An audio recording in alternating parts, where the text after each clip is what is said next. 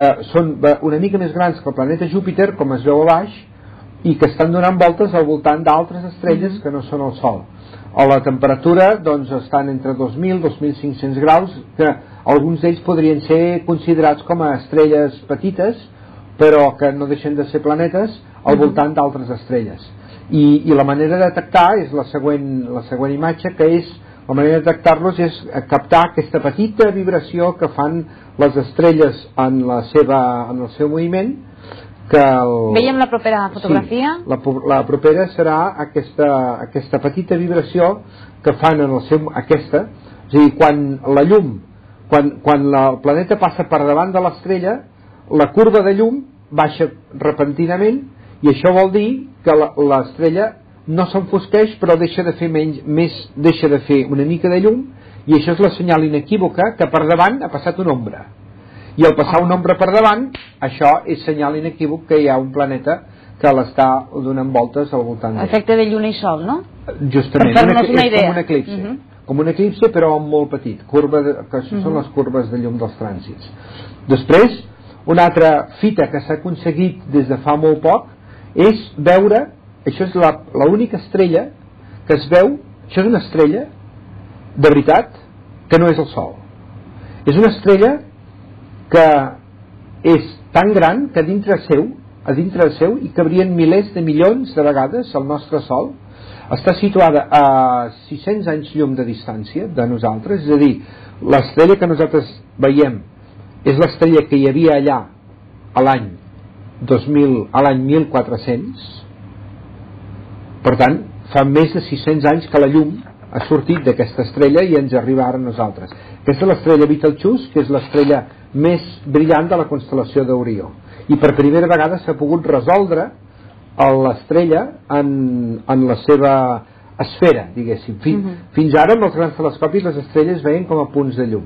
Sí. I finalment, bueno, aquestes imatges, això també és una altra fita molt important perquè estem veient, no estem veient lluny, sinó que estem veient antic.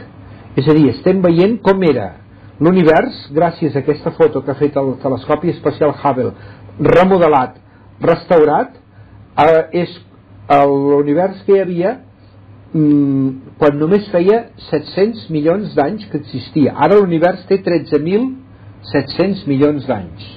Doncs aquesta, aquestes imatges, els punts més petits i més vermells que hi ha en aquesta, en aquesta foto, daten de fa 13.000 milions d'anys. És a dir, quan l'univers era un bebè, quan l'univers era un nadó, quan l'univers era petit, i a més a més eh, era completament diferent del que és ara.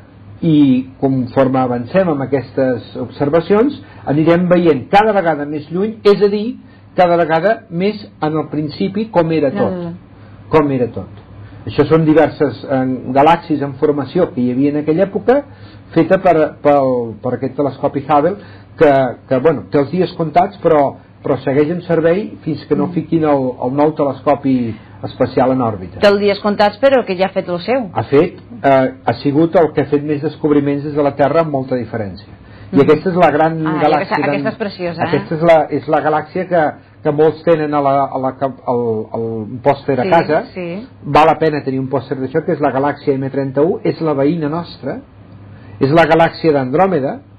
Aquesta galàxia és molt semblant a la nostra, per que ens fem una idea, de punt d'una punta a l'altra d'aquesta mena d'ensaïmada, perquè sembla una ensaïmada, amb un punt central, d'una punta a l'altra hi ha 100.000 anys llum, i, i nosaltres viuríem eh, amb una, a, a, a tres cinquenes parts més o menys d'entre el centre i la vora.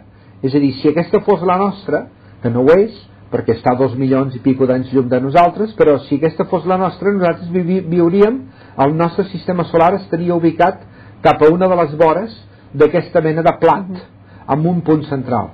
Uh, aquesta, és la, uh, aquesta galàxia la podem veure a simple vista. És l'única galàxia que es pot veure a simple vista des de les nostres contrades.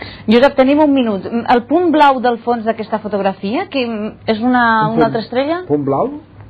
Al final? El ah, veus? Cap on? Cap a la teva esquerra. Ah, sí, això és una estrella, una estrella propera ah. a nosaltres.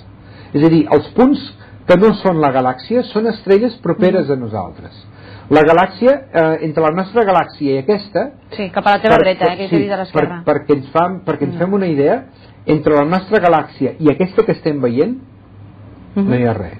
Hem de marxar. Què podem veure al cel durant aquests dies, doncs Josep? la galàxia d'Andròmeda i sobretot, sobretot, no ens, podem, ve- no ens podem perdre de cap manera la constel·lació d'Orió que ens ofereix estrelles brillants, estrelles de colors, nebuloses, on es fabriquen estrelles.